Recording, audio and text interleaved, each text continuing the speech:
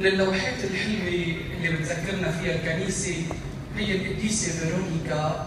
فيرونيكا اللي معناتها ال vraie icône فيرونيكا. ال icône أو الأيقونة الحقيقية ليسوع المسيح وقت اللي كان مخطط بالدم. شو حلو يا رب اليوم تذكرنا إنه نحن أيقونة مجدك.